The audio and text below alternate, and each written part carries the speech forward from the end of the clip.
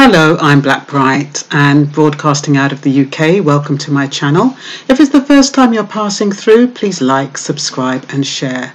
And if you've already subscribed, thank you for subscribing and thank you for your comments. Um, I wanted to do this video before I left while the passion was still in me. Um, I'm going to pop out in a minute, but um, it's about the knife crime um, campaign on chicken boxes. Now, it's caused quite a furore. Um, I'm not quite sure um, whether the furore is justified or whether people are focusing on the wrong thing.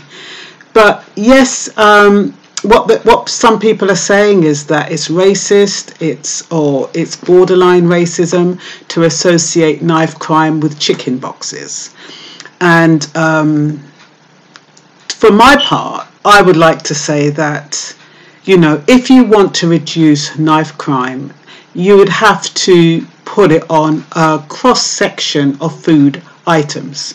So, you know, not only fried chicken, I'm not quite sure why Kentucky isn't included in that because I would think a lot of people go to Kentucky, but it's not Kentucky, it's Dixie Peach, it's cottage chicken, and another one called Morley's, which I've never heard of. I don't know if it's cheap chicken, I don't know what kind of chicken it is.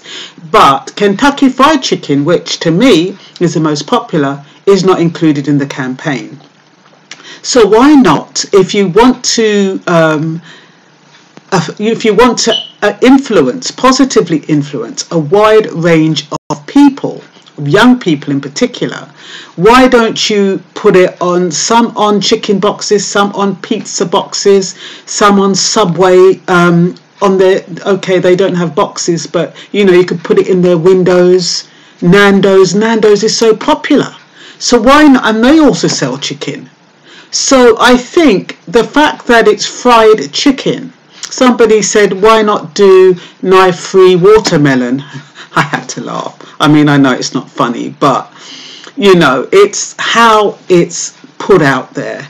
And it's probably unconscious bias. I have no idea. It could probably, um, it's definitely stereotyping.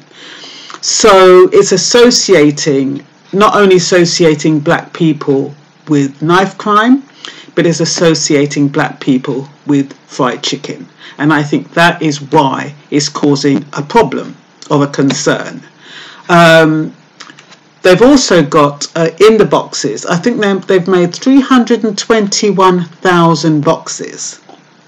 And on these boxes, it's got um, knife free for everyone, and then it's got like some kind of motivational method message inside um, about you know from kids who have turned their lives around and have turned to boxing, have turned to music, who have turned to different kinds of sports and that kind of stuff, and some who have turned to education.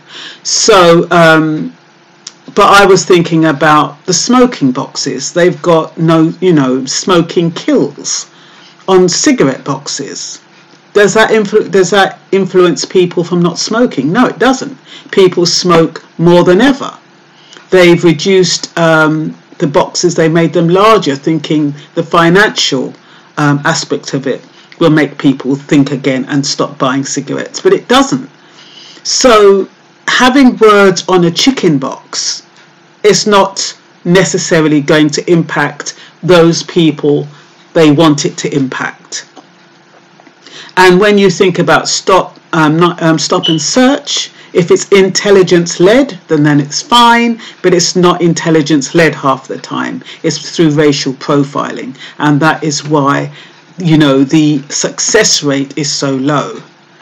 So um, yeah, what can I say? I just wanted to make it quick, but I just wrote down a three points. Um, knife free slogans on takeaway chicken boxes. A story in this box meant is help to blah blah blah. It's meant to help recovery and give hope. Suggests that chicken is the choice of food for those carrying knives, which is working class and it's quite classist yeah, when you think about chicken, also, it's more classist for me than anything else. And yes, um, when you think about fried chicken, I, I think not so much. I don't know if it's so much in England that chicken is associated to black people. I know maybe more in America, but I don't know. I don't know. I think a lot of people eat chicken. It's cheap, it's cheerful, it tastes good. Um, but that doesn't mean that it's going to influence who it's meant to influence.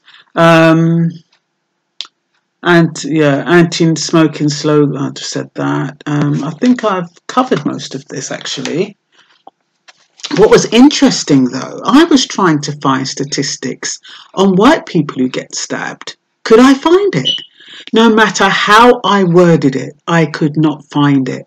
But guess how I found how I had to make the deduction? Um, I found one link. Well, one link I was reading. I don't even know what the paper was, but I did copy and paste it, so I should have it in the description. But it said that 25% of knife related um, homicides is black, which by deduction means 75% are non black. So that's how I got those figures. But when you, the way it's portrayed in the media is that it's predominantly black. And I saw this um, research document called The Colour of Crime. I was horrified. I was absolutely horrified. It's totally biased. And because I, I haven't well, I just noticed it today and I was just going through it today, and I haven't got um, the wherewithal or the resources to research all that information. I just know that, you know, when you do, it's taken out of context. That's all I can say. But it's called The Colour of Crime. If any of you haven't looked at it, um, have a look at it and tell me what you think about it. Um, but yeah, I was listening to another guy who was talking about um, the effect of knife crime, and he'd obviously read The Colour of Crime because he was quoting statistics and you know those kind of in, that kind of information in the wrong hands is going to create the wrong impression that's my worry um, okay so let me see yeah america's quite open to their statistics when when I was looking for the amount of knife crime to do with whites, America, white on white crime is 83%. So they were quite open about it.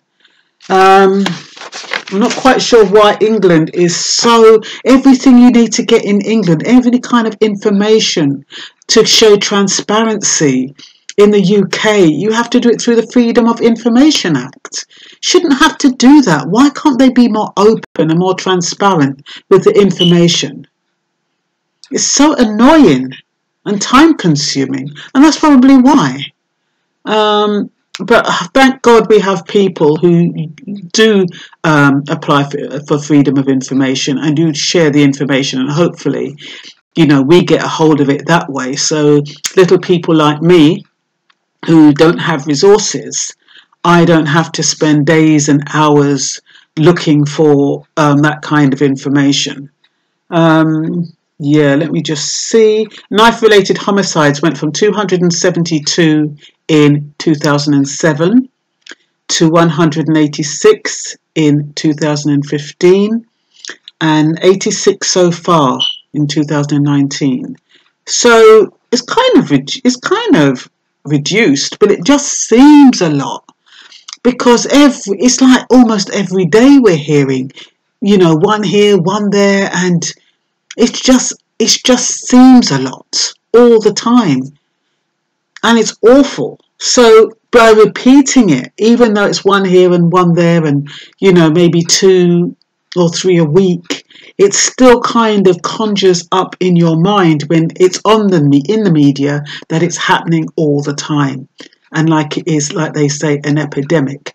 But I don't know why in 2007 there it it was 272. That is a hell of a lot.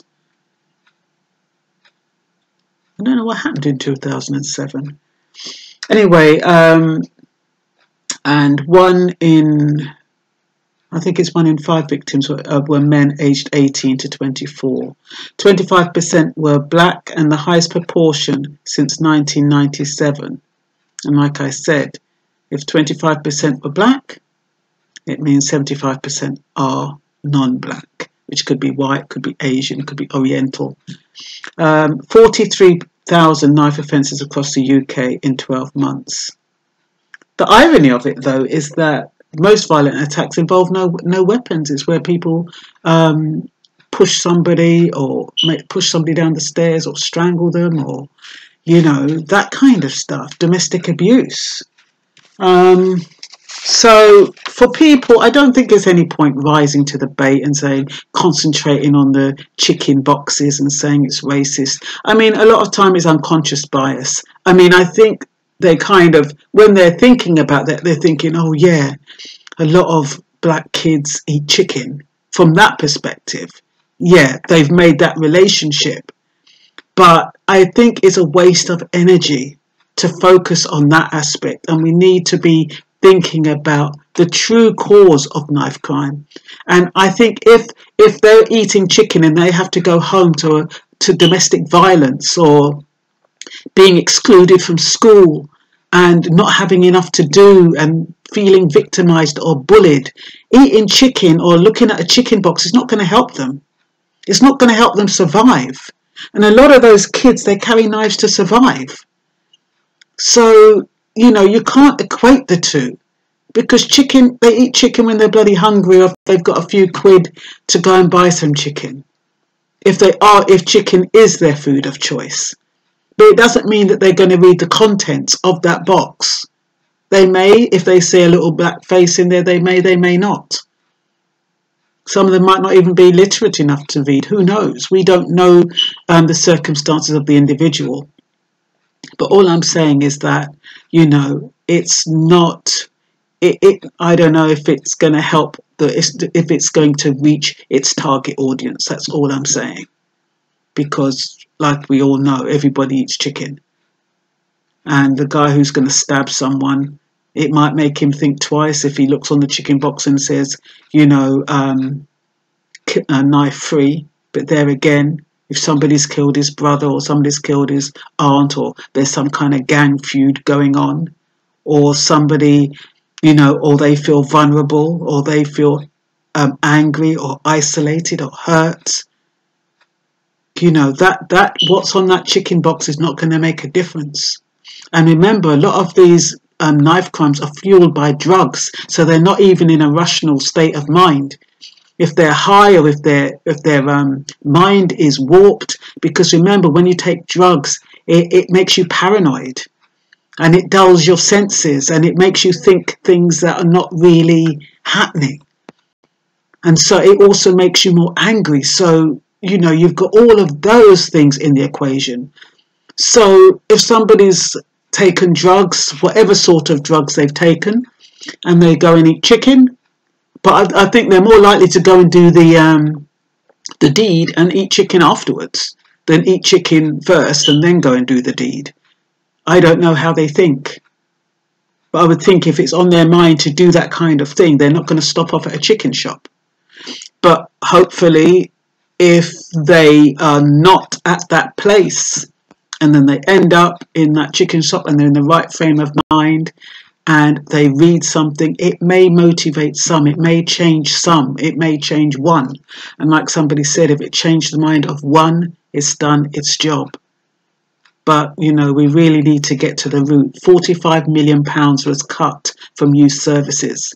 Kids have got nowhere to go, they've got nothing to do. They get tired of playing games and on their phones and all these, and even then when they play games, that's all about usually about killing so what is there to insensitize them? You know, we do have some parents who, you know, guide their children and they're so good with their children. And yet you have others that just can't be bothered or they're tired or they're working long hours. The children feel neglected. And then you have, you know, they have problems at school or they're excluded and all of those other stuff. And it just compounds the situation. So, um, I really don't know. I don't know what the answer is. You know, I want knife crime to stop because it's such an easy crime to commit. You can go in the kitchen and get a bloody knife. It's such an easy crime to commit.